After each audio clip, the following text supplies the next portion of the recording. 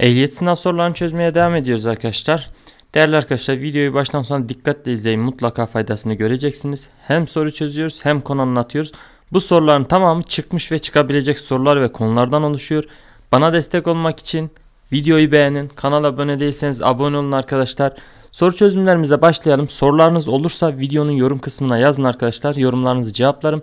Sosyal medya hesaplarım videonun açıklama kısmında var. Oradan beni sosyal medyadan Instagram'dan özellikle takip edin. Çünkü soru çözüyoruz Instagram'da. Geçelim çözümlerimize. Haritada gösterilen illerden hangisi daha güneydedir? Bakalım illerimize. Hangisi güneyde? Güney nere arkadaşlar? Güneydoğu Anadolu bölgesi. Oradan aklımızda gezdi. Neresi? Şurası. Güneydoğu Anadolu. Yani burası güney. Konya. Yukarısı ne? Kuzey. Burası doğu. Erzurum bölgesi zaten. Burası batı. İzmir, Manisa tarafları. Haritaları bu şekilde unutmayın. Mutlaka bunu bilmenizde fayda var. Geçelim. Aşağıdaki durumların hangisinde kazazedeye hemlik manevrası uygulanır? Kan şekeri düştüğünde, tam tıkanma yaşandığında, kanaması olduğunda, kalbi durduğunda. Hemlik. Doğru cevap B seçeneği tam tıkanma olduğunda. Şimdi bakalım hemlik neymiş, ne değilmiş.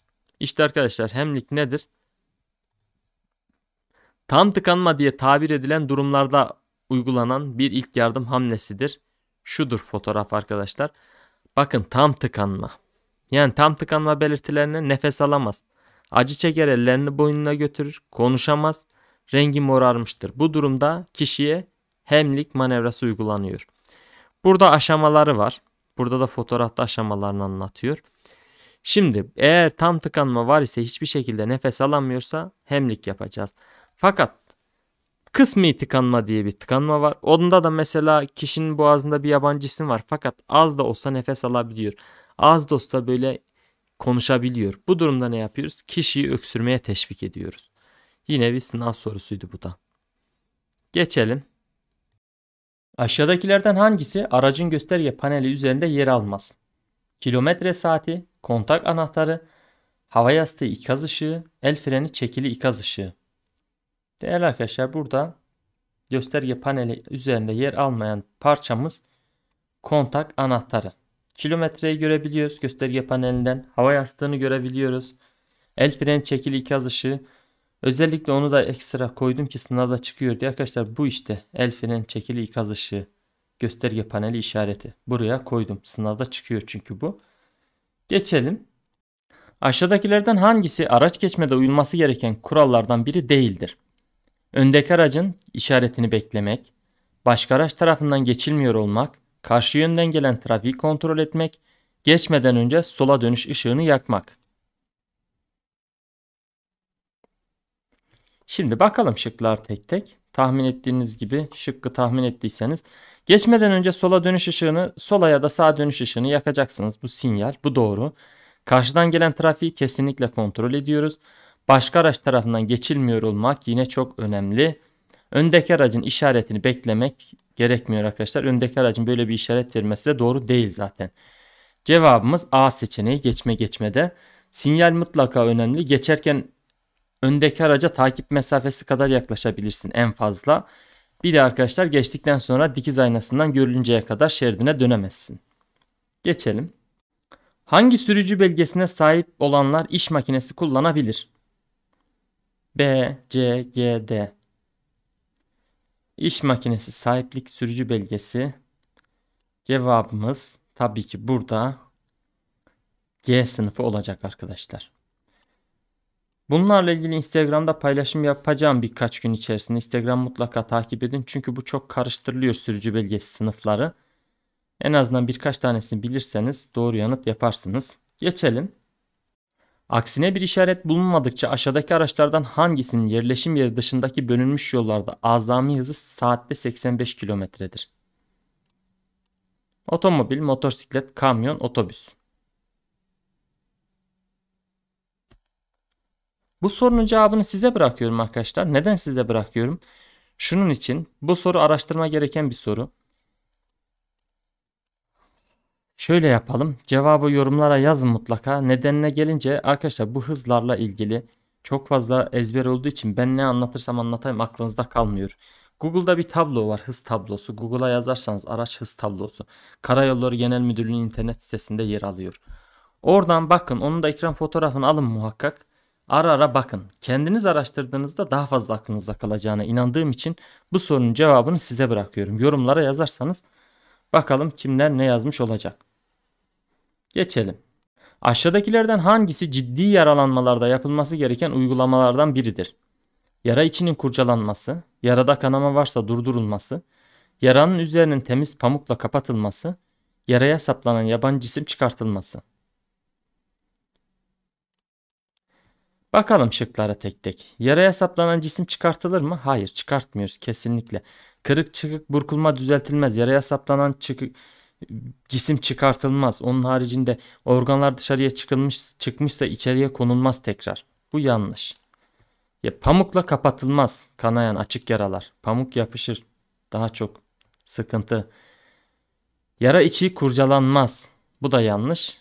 Kanama varsa durduracağız. Evet doğru cevap B seçeneği. Yarada kanama varsa durdurulması doğrudur ciddi yaralanmalarda. Geçelim. Durdurmayı da biliyorsunuz arkadaşlar. Zaten baskı uyguluyorsunuz. Tampon uyguluyorsunuz. Durmuyorsa en son turnike uyguluyorsunuz kanamada. Uzuv kopması varsa büyük çaplıysa kanama turnike uyguluyoruz. Geçelim. Şekle göre bir numaralı araç sürücüsü, bir numaralı aracı arkadan çarpan iki numaralı araç sürücüsü. Hakkında hangisi kesinlikle diyor söylenebilir diyor. Burada bir kaza olmuş. 2 numara hakkında ne söyleyebiliriz? Görselimizi incelediğimizde bir geyik buraya çıkmış. Levhamız da var. Geyik çıkabilir. Şimdi bakalım şıklara. A. Gözlerin iyi görmediği. Bunu bilebilir miyiz? 2 numaralı aracın. Hayır bunu bilemeyiz. B. Hız kurallarına uymadığı. Bunu da bilemeyiz. C. Araç lastiklerinin eski olduğu. Bunu da bilemeyiz. D. Takip kuralını ihlal ediyor. Arkadaşlar burada bir soru bu şekilde kaza yapmış. E suçlu hocam öndeki geyik çıkması filan diyebilirsiniz. Ya da bununla ilgili bir animasyon sorusu vardı mesela. Yağmurlu havada araçlar takip ederken biri ani fren yapıyor. Diğer araçlar da çarpıyor ona. Hatta bir tane araç da yanlış sollama yapıyor. Neyse sonuç olarak arkadan çarpıyor birkaç tane araç birbirine. Orada şıkları karıştırmayın. Cevabımız orada arkadaşlar takip mesafesi olacak. Bu kazanın sebepleri hakkında başka şeyler olsa bile mesela geyiğin yola çıkması olsa bile asıl sebep takip kuralı. Yani geyik yola çıkmış olsa bile 2 numaralı araç takip kuralına uysaydı yine de çarpmazdı. Durum bundan ibaret. Dizel motorlarda yakıtın ateşlenmesi nasıl olur? Buji kıvılcımı ile elektrik motoru ile dışarıdan ısıtılarak sıkıştırılan havanın sıcaklığı ile. Bu da öğretici bir soru. Çok karşılaşılmayan bir soru. Yine ehliyet sınav sorusu olarak karşımıza geliyor nadiren de olsa. Arkadaşlar dizel dediğine göre buji olamaz. Buji neydi? Benzinli araçlarda. Elektrik motoru değil. Dışarıdan ısıtılarak da değil. Sıkıştırılan havanın üzerine motorin yakıt püskürtmek suretiyle ateşleme olur dizel araçlarda. Benzinli araçlarda buji ile olur ateşleme. Dizel araçlarda sıkıştırılmış havanın üzerine benzin püskürtmek suretiyle olur. O sıkıştırılan havada sıcak bir havadır. Geçelim. Su soğutmalı motorun soğutma sisteminde hangisi kullanılır? Antifriz, benzin, asitli su, motorin. Doğru cevabımız A seçeneği antifriz arkadaşlar. Geçelim. Aşağıdakilerden hangisi araçlarda gücün kaynağıdır? Şaft, tekerlek, motor, vites kutusu. Doğru cevap güç kaynağı. Tabii ki motor. Arkadaşlar araçlarda gücün kaynağı motordur. Şurada da yazıyor. Motor araçlarda gücün kaynağıdır. Motor nasıl çalışır? Isı enerjisini mekanik enerjiye çevirmek suretiyle. Motor budur işte arkadaşlar. Bazen ok işareti çıkartıp soru işareti koyarlar. Bunun ismi motor. Unutmayın. Geçelim. Aşağıdakilerden hangisi dizel motorlarda yakıt sisteminin hava yapmasına neden olur? Depodaki yakıtın bitmesi, subap ayarlarının bozulması, hava filtresinin kirli olması, yakıt pompasının ayarsız olması.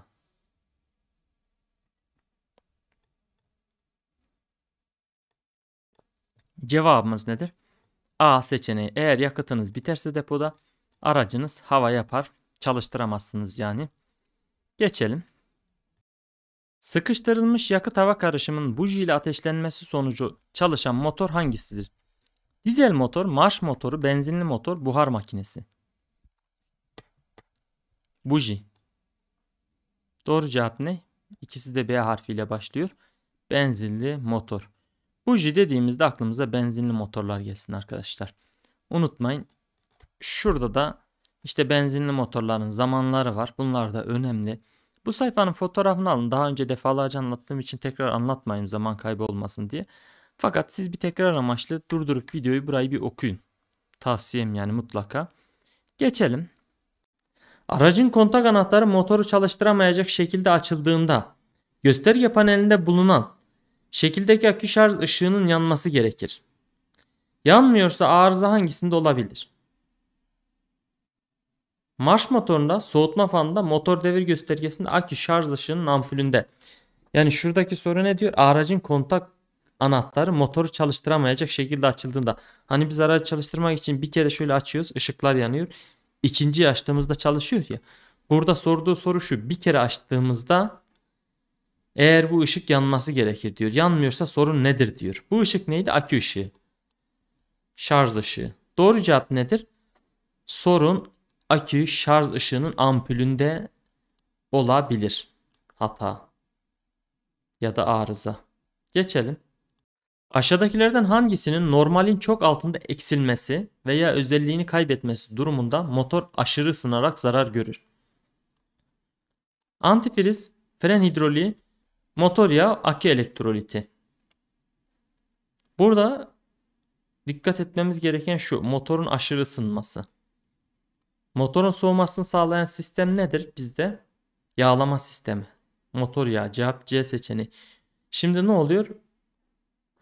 Yağımız belli seviyenin altında olursa ya da hiç olmazsa parçalar birbirine sürtüyor. Yağın görevi neydi? Parçaların birbirine sürtmesini engellemekti. Onun için eğer birbirine sürterse motor aşırı ısınır parçalar. Şimdi yağla ilgili şunları bilmenizde fayda var. Yağlama sistemi dediğimizde şunlar çok önemli hususlar. Sürtünmeyi azaltır. Aşınmayı önler. Yağ filtresi dediğimiz filtre yağın içerisindeki pislikleri temizler. Budur. Parçalardaki ısıyı alarak soğutmaya yardımcı olur. Yine yağlama sisteminin faydası. Yağın normalin altında eksilmesi veya özelliğini kaybetmesi durumunda motor aşırı ısınır. Az önceki soruda çıkan kısım buydu mesela. Periyodik olarak aracın servis kitabında belirtilen sürelerde yağ değiştirilmelidir. Her yağ değişiminde de yine yağ filtresini değiştiriyoruz. Yağ gösterge lambamız budur. Bu lamba yandığında araç hareket halindeyken bakın hareket. Araç hareket halindeyken bu lamba yanarsa aracı derhal durdurup kontağı kapatıyoruz. Bu önemli. Bir de yağ çubuğu bunu da soruyorlar. O da şudur. Bu yağ çubuğu ne işe yarıyor? Araçtaki yağ seviyesini ölçüyor. Geçelim bu soruyu da.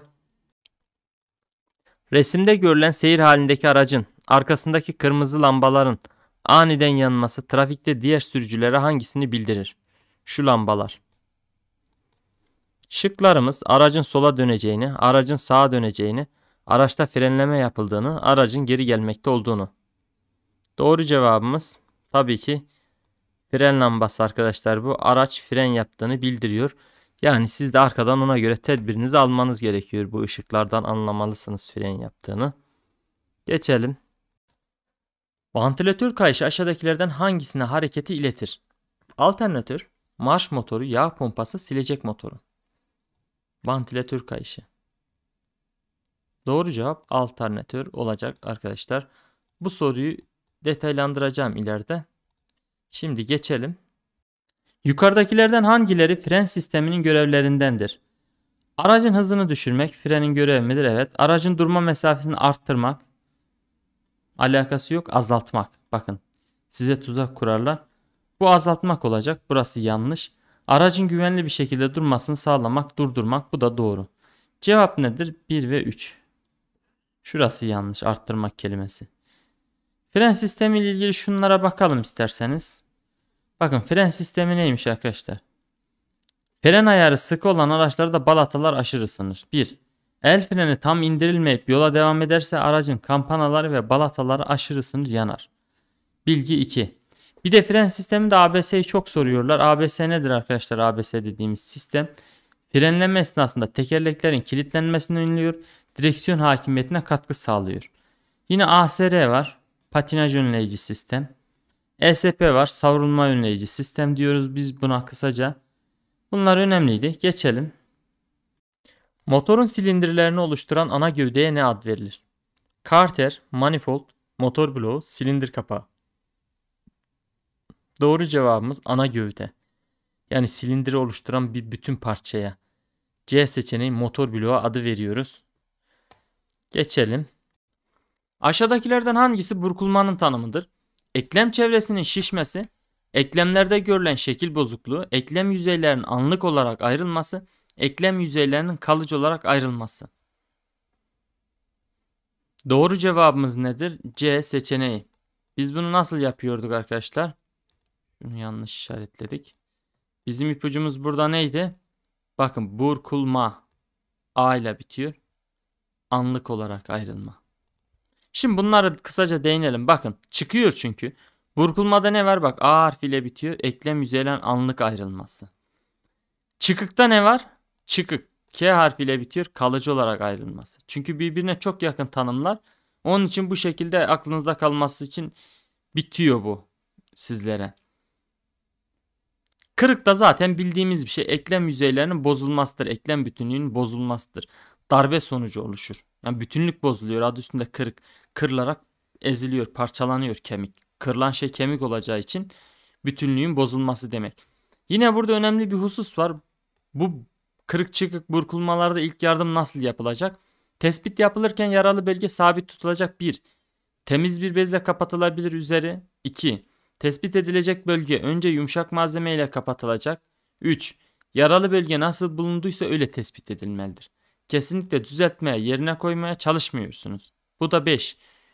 Tespit kırık çıkık burkulmanın üstündeki ve altındaki kalan eklemleri de içerecek şekilde yapılmalıdır. Yani şunu söylemek istiyor bu en son kısımda. Şurada mesela kırık varsa direkt sadece burayı hemen gelip sarmayın diyor.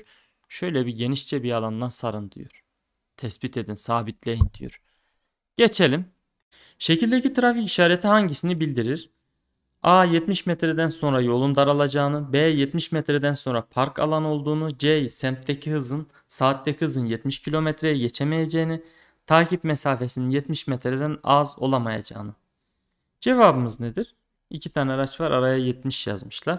Bu 80 de olabilir 100 de olabilir. Doğru cevap D seçeneği takip mesafesini bu yolda 70 metrenin altına düşüremezsiniz. Yani en az 70 olmalı. Mutlaka yolda bir çalışma vardır ya da yolun fiziki durumu ona elverişli değildir. Ondan dolayı böyle bir kısıtlama vardır.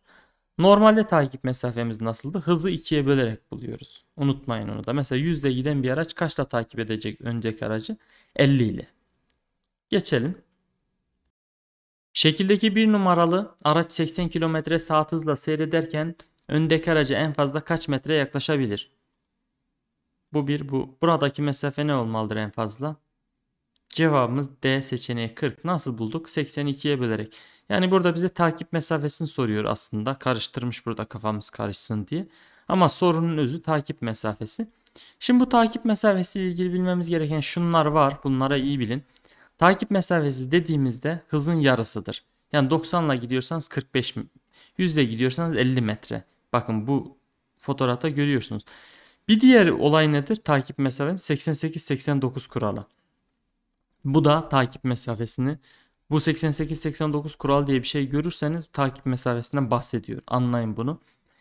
Bir de takip mesafesi nedir? Bir aracın 2 saniyede kat edeceği yolla ilgili bir durumdur. Onu da yine unutmayın. Araçların 2 saniyedeki hareketi.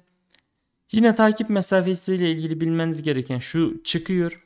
Kol ve grup halinde yani konvoy şeklindeki araç kullananlarda araçların arasına kendilerini sollayıp geçmek isteyen araçların gerektirdiğinde güvenle girebilecekleri kadar açıklık bulundurmak zorundadır. Yani konvoylar ne yapacakmış? Diğer araçların araya güvenle girecekleri kadar açıklık bulunduracakmış. Bir de takip mesafesi ile ilgili şunu bilin. Tehlikeli madde taşıyan araç sürücüleri 50 metre en az takip mesafesi kuralı vardır. Unutmayın. Geçelim.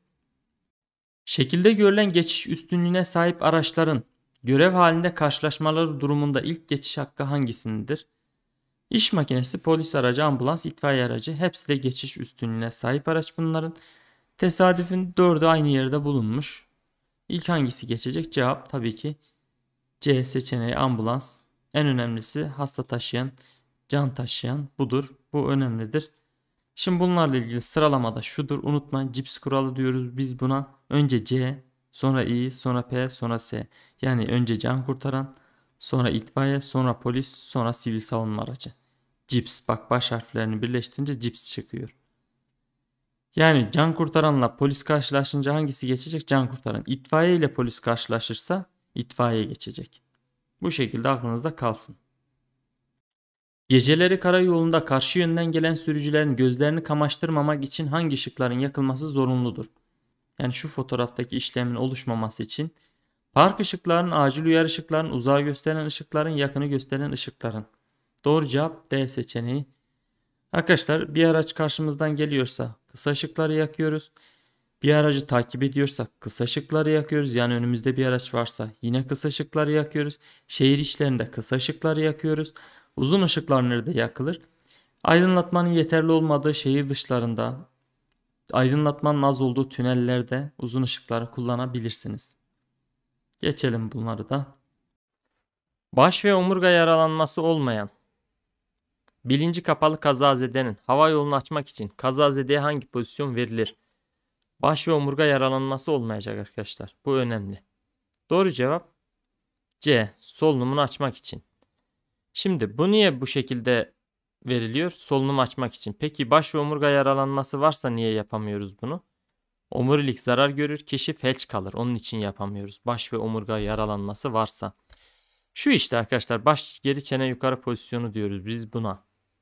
Aşamalar da şunlar. Bir el alına yerleştirilir. İşte şurada sırayla 1, 2, 3, 4 tane maddemiz var. Onlar okuyun. Bunlar önemli çıkıyor. Bazen sıralaması bile çıkıyor bunun. Şimdi zaman kaybolmasın diye ben okumayacağım. Fakat siz okuyun. Geçelim. Aşağıdakilerden hangisi burkulma belirtilerinden biri değildir? Şişlik, kızarma, işlev kaybı, hareket ile azalan ağrı. Doğru cevap hareket ile azalan ağrı. Azalır mı arkadaşlar? Artan ağrı. Bu yanlış. Şimdi burkulma nedir bakalım. Burkulma eklem yüzeylerin anlık. Bakın unutmayın. Sınav sorusudur. Aklınıza kalsın anlık olarak ayrılması. Kalıcı olarak ayrılması ayrı, anlık olarak ayrılması ayrı bir tanıma girer. Anlatacağım onu da anlatacağım. Fakat şurada anlık anahtar kelimemiz olsun. Yine burkulma belirtileri ağrı, şişlik, kızarma, işlev kaybı. Burkulmalarda ilk yardım nasıl olacak? Burkulan eklemi tespit edeceğiz. Yani sabitleyeceğiz.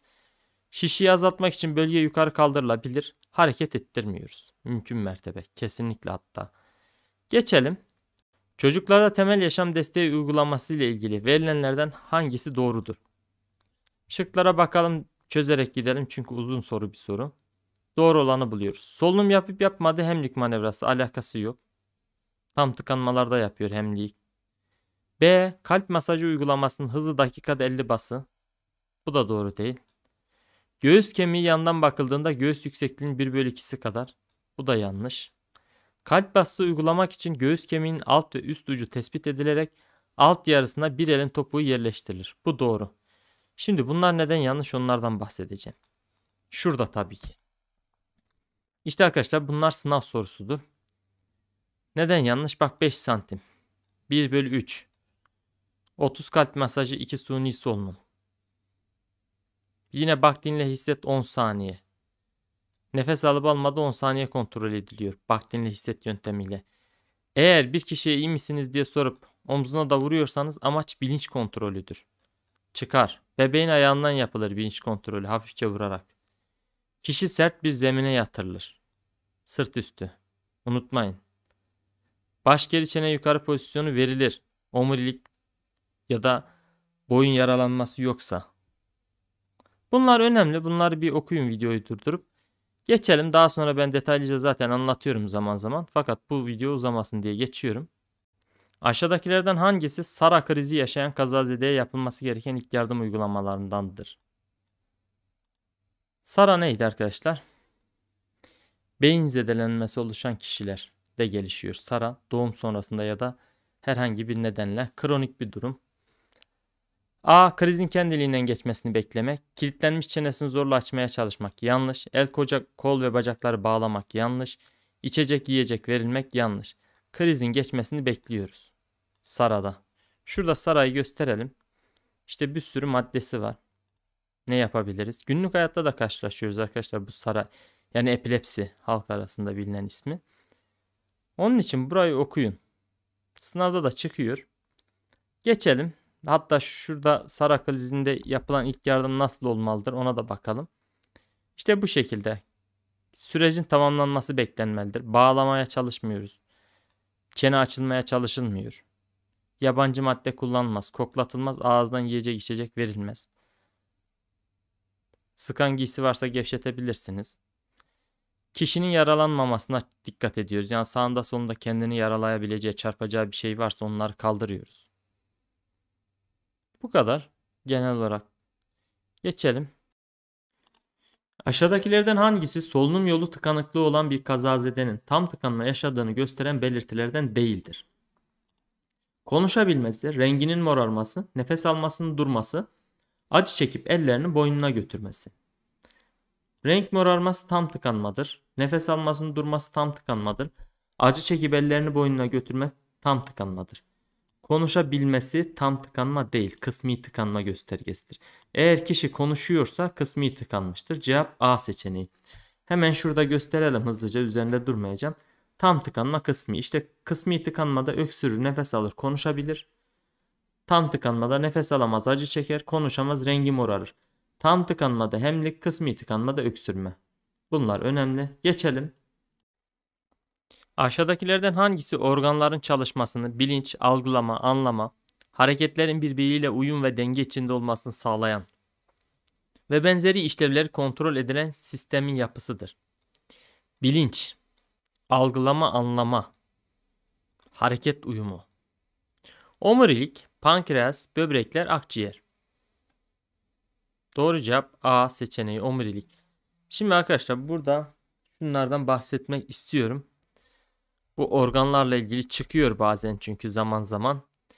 Sistemler bunlar. Bakın hareketle ilgili bir şey görürseniz kemik, eklem, kaslar. Dolaşım kanın vücutta dolaşımını kastediyor buradan. Kalp, damar, kan damarları. Sinir sistemi baş bölgesi. Beyin, omurilik, beyincik yani kafa bölgesinde bulunan organlar. Bakın sorumuzda da ne vardı? Omurilik vardı. Yine solunumda da işte ciğerler, nefes alıp vermemiz. Aklınıza bunlar gelsin. Boşaltımda böbrekler aklımıza gelmesi gereken ilk organ. Sindirimde de bağırsaklar, mide aklımıza gelmesi gereken ilk organ. Bu organlara dikkatlice bakalım. Ben hızlıca işledim. Siz mutlaka durdurup şöyle bir hızlıca göz ucuyla da olsa bakın çıkıyor çünkü sınavda. Geçelim. Aşağıdakilerden hangisi kalp spazmında görülen ağrının özelliklerindendir? Nefes alıp vermekte şiddetin değişmesi, genellikle göğüs ortasından başlaması, dinlenmekle geçmemesi, uzun süreli olması. Kalp spazmı. Doğru cevap B seçeneği. Genellikle göğüs ortasından başlaması cevabımız. Geçelim. Aşağıdakilerden hangisi çıkığı olan kazazedeye yapılacak ilk yardım uygulamalarındandır? Çıkık. Çıkan eklemin yerine oturtulması, çıkık olan bölgede sadece ısı kontrolü yapılması, çıkan eklemin bulunduğu şekilde tespit edilmesi, ağızdan ağrı kesiciler vererek eklemin ağrısının azaltılması. Doğru cevabımız nedir? C seçeneği çıkak çıkık bölgeyi tespit ediyoruz. Yani sabitliyoruz demek bu. Çıkan eklemi arkadaşlar kırık çıkık burkulmada yerine oturtma düzeltme yapıyor muyduk? Hayır. Çıkık olan bölgede sadece ısı kontrolü bu da doğru değil. Ağrı kesici ya da ilaç yiyecek içecek veriyor muyuz? Hayır. Doğru cevap C seçeneği. Kırık çıkık burkulmada ne yapıyoruz? Kişiyi sabitliyoruz. Mümkün mertebe hareket etmesini engelliyoruz. Burada da var. Sabit tutulmalı hareket engellenir. Temiz bir bezle üzeri kapatılır. Önce yumuşak sonra sert bir malzemeyle şey yapılabilir. Sargı yapabilirsiniz hafif. Yine arkadaşlar yara nasıl bulunduysa yani çıkık kırık nasıl bulunduysa öyle tespit edilecek. Düzeltilmeyecek. Bu da önemli. Geçelim. Verilenlerden hangileri Milli Eğitim Bakanlığı'nın trafikle ilgili görevlerindendir? Çocuk trafik eğitim parklarının yapılma, açılma, eğitim ve denetim ve çalışma esaslarını belirlemek. Doğru. 2. Sürücü adayların teorik uygulamalı sınavlarını yapmak. Yani şu anki sınavları yapan kim? Milli Eğitim. O da doğru. 3. Karayollarında can ve mal güvenliği yönünden gerekli düzenleme ve işaretlemeleri yaparak tedbirler almak ya da aldırmak. Bu kimin görevi? Karayollarının, Karayolları Genel Müdürlüğü'nün. Doğru cevap A seçeneği. Geçelim. Aşağıdaki trafik işaretlerinden hangisi kamyonlar için öndeki aracı geçme yasağı sonu? Doğru cevap pardon geçme yasağını bildirir diyor sonunu değil. Doğru cevap A seçeneği arkadaşlar. Bu geçme yasağını bildiriyor. Bu da sonunu. Yani bunu gördüğünüzde geçme yasağı bitmiş oluyor. Bunu gördüğünüzde başlamış oluyor. Şu şekilde soruyorlar bu soruyu da. Bakın şu. Kamyonun yaptığı işlem nedir burada? Hatalıdır. Niye? Çünkü burada sollama yapamaz kamyon. Neye göre? Levhaya göre. Geçelim. Şekildeki kavşakta karşılaşan araçların sıralaması nasıl olmalıdır? Arkadaşlar kavşağa baktığımız zaman 1, 2, 3 tane araç var. Şimdi şu levhalara önce bakıyoruz. Burası neydi? Tali yol. Nereden anladın hocam? Şu ters üçgen var ya.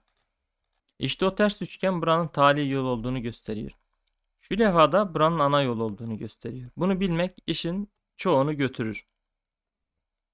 Şimdi soruya dönecek olursak.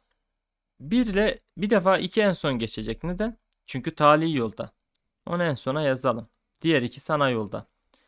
1 ile 3 arasında hangisi önce gidilecek? Tabii ki burada en önce 1 gidecek arkadaşlar. Sonra 3, sonra 2. Sebebi de arkadaşlar traktör düz gidiyor. Otomobil dönecek. Kuralımız neydi? Düz gidenler öncelikliydi. Cevap B seçeneği.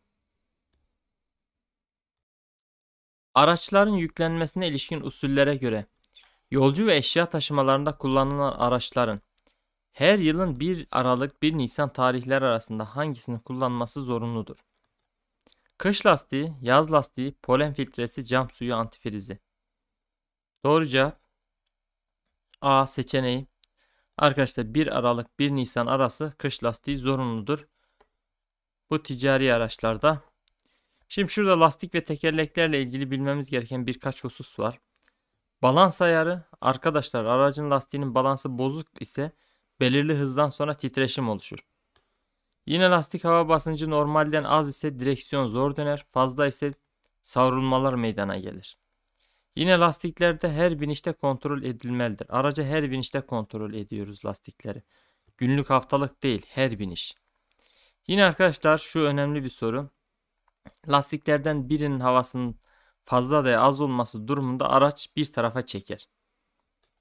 Lastikler içten dışa düzensiz aşınıyorsa rot bozuktur. Rot ayarı 1 Aralık 1 Nisan kış lastiği uygulaması tarihleridir. Bir de şuna bakın lastiklerle ilgili çıkıyor. Arkadaşlar lastik okuma. İşte hangisi bu rakam ne anlama geliyor. Buna detaylıca bir inceleyin. Bakın çünkü çıkıyor.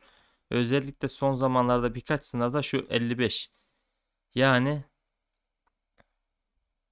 yanak yüksekliği çıktı. Unutmayın. Geçelim. Karayolları yönetmeliğine göre aşağıdaki durumlardan hangisinin oluşması halinde araç için yeni tescil belgesi düzenlemek zorunludur. Hurdaya ayrılması, teknik değişiklik yaptırılması, aracın yaralanmaları kaza, yaralanmalı kazaya karışması, aracın teknik muayenesinin zamanında yaptırılmaması. Doğru cevap B seçeneği. Aracın üzerinde teknik değişiklik yaparsanız tescil belgesini yeniden düzenlemek zorunludur arkadaşlar. Geçelim. Aşağıdakilerden hangisi trafik denetim görevlilerinin istemesi halinde sürücülerin beyan etmek zorunda olduğu belgelerden değildir? Yani polis sizi durdurdu hangisi zorunlu değil. Sürücü belgesi zorunlu. Tescil belgesi zorunlu. Nüfus cüzdanı zorunlu. Araç bakım kartı önemli değil arkadaşlar. Cevap B seçeneği. Şekildeki trafik işareti hangisini bildirir? Dönel kavşağa yaklaşıldığını, kontrolsüz kavşağa yaklaşıldığını, demiryolu geçidine yaklaşıldığını, ana yol tali yol kavşağına yaklaşıldığını. Levhamız nedir arkadaşlar? Ana yol tali yol levhası. Bu levha nerede bulunur? Ana yolda bulunur.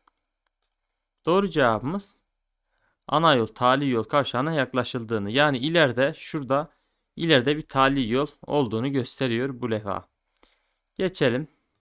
Aşağıdakilerden hangisi trafikte sürücülerden beklenen olumlu davranış özelliklerindendir? Kendine kurallar koymak, kendi kendine, bencilce davranışlarda bulunmak, paylaşmayı bilmek ve saygılı olmak, saygıyı öncelikle başkalarından beklemek. Doğru cevabımız C seçeneği arkadaşlar. Paylaşmayı bilmek, saygılı olmak, olumlu davranış özelliği, diğerleri olumsuz. Basit bir soru üzerinde durmayalım. Sola dönüş yapacak olan sürücülerin hangisini yapması yanlıştır? Dar bir kaviste dönmesi, döneceği yolu önceden işaretle bildirmesi, dönüşünü tamamladıktan sonra hızına uygun şekilde girmesi, şeride pardon, kurallara uygun olarak karşıya geçen yayalara ilk geçiş hakkını vermesi. Doğru cevap A seçeneği arkadaşlar. Sola dönüş şu şekilde gözünüzde canlandırın hep bunu. Sola dönüş neydi? Geniş bir kavist olacak. Şurada dönüşleri bahsedelim, anlatalım. Arkadaşlar her ikisinde de sağ sol fark etmez hızımızı azaltıyoruz. Bu kural 1.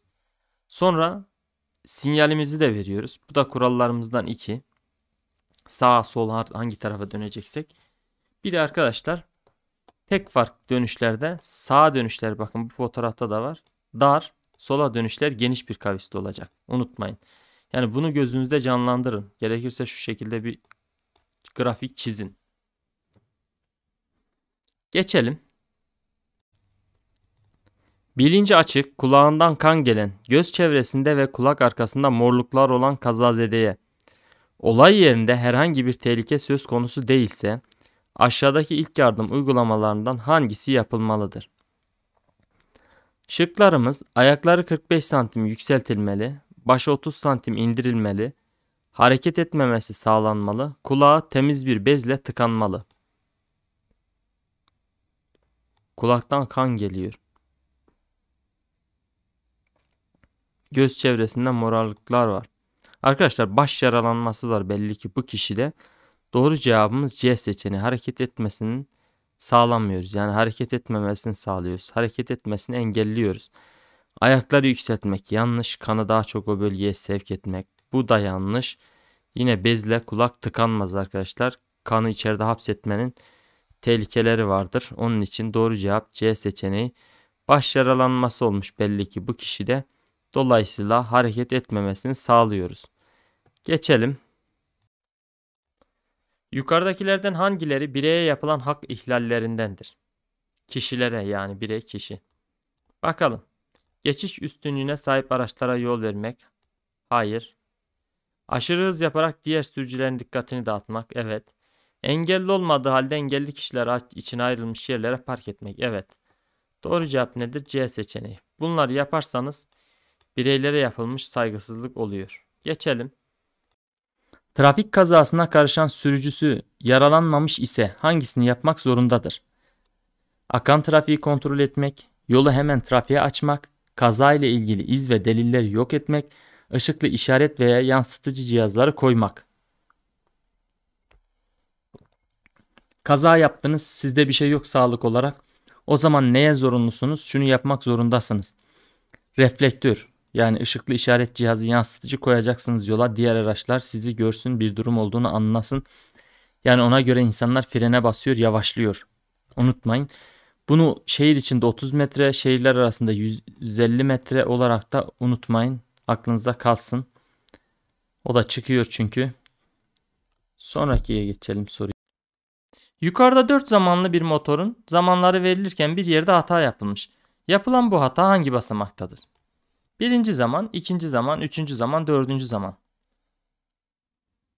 Zamanlarımızı hatırlayalım arkadaşlar. Bu zamanların sırası bile önemlidir. Birinci zaman emme zamanı okey. İkinci zaman sıkıştırma zamanı okey. Üçüncü zaman ateşleme zamanı. Bu da okey. Dördüncü zaman iş zamanı. Son zaman son zaman yani en son 4 4'te ne oluyordu? Egzoz oluyordu arkadaşlar. Hani yanan gazlar dışarıya atılıyordu. O zaman hata nerede? Burada buraya egzoz zamanı yazması gerekirken iş zamanı yazmışlar. Şimdi bu soruların bazılarını ben hazırladım. Bilakis e, kitaplardan ya da çalışma kitaplarından almadım. Bizzat hazırladım oturup. Onun için ilk defa görmüş olabilirsiniz. Amacı bu soruların e, öğretmek. Yani aslında bu sorunun amacı size soru çözdürmekten ziyade konuyu öğretmek istiyorum ben. Çünkü bazı arkadaşlarınız konu eksiği oluyor. Konuyu bilmeden soruyu çözmeye çalışırsanız bu iş biraz zor olur. Soruların amacını, soruları hazırlarken amacım konu öğretmekti. İnşallah amacımıza ulaşırız. Bakalım zamanlara. İşte zamanlar diyor. 4 zamanlı emme zamanı, sıkıştırma zamanı, egzoz zamanı. İşte bizim neydi hatamız? Egzoz zamanına iş zamanı yazmıştık. İşte hatamız burada iş zamanı değil. Bu zamanların sırasını mutlaka bilmenizde fayda var. Ayrıca ileride detaylandıracağız da mesela emme zamanında ne oluyor, sıkıştırma zamanında neler gerçekleşiyor, ateşleme zamanı, egzoz zamanı bu zamanların detaylarını da vereceğim. Ama en çok çıkan zaman şurası ateşleme zamanı o da buji aklımıza gelsin. Buji ile ateşleme oluyor benzin LPG'li motorlarda ateşleme zamanında. Diğerleri de önemsiz değil ama anlatacağız onu şu an geçelim. Çünkü ileriki konularda o ona benzer sorular çözdüğümüzde anlatacağım hepsini. Geçelim. Aksine bir işaret yoksa eğimsiz iki yönlü dar yolda otomobil ile otobüsün karşılaşması halinde. Otomobil ile otobüsün bakın. Hangisi diğerine yol vermelidir? Otomobil otobüse, otobüs otomobile, şeridi daralmış olan diğerine, azami ağırlığı az olan diğerine. Cevap nedir? B seçeneği. Otobüs otomobile yol verecek. Şimdi bununla ilgili şu şekilde bir kuralımız var. Bunu Instagram'dan aldım. Bu arada Instagram'dan takip etmeyi unutmayın. Instagram'ın linkini videonun açıklama kısmına bırakıyorum hep söylediğim gibi. Açıklama kısmındaki açıklamaları mutlaka okuyun. Daralan yolda yani bu şekil bir yolda karşılaşmada sıralama sırasıyla bakın. Otomobil, otobüs, minibüs, kamyonet, kamyon, arazi, traktör, işme, motor. Eğimli yollarda bunlar geçiş hakkını bu şekilde otomobil otobüse verecek. Yani, pardon otobüs otomobile verecek. Mesela ilk otomobil geçecek sonra minibüs sonra kamyonet sonra otobüs. Yani sırayla bu şekilde geçiş yapacaklar. Geçiş hakkı sırası. İlk otomobil geçer mesela. Sonra minibüs sonra kamyonet sonra biz hangisini karşılaştırdık? Otomobille otobüs karşılaşıyordu. Sıralamada en üstte kim var? Otomobil. Mesela otomobille kamyon karşılaşsa yine otomobil geçer. Gibi. Şurada bir not var. O da diyor ki eğimli yollarda inen sürücü çıkan sürücüye yol vermek zorundadır. Eğimli yollarda inen sürücü çıkana yol verecek. Unutmayın bunu da. Soru olarak gelebilir. Geçelim.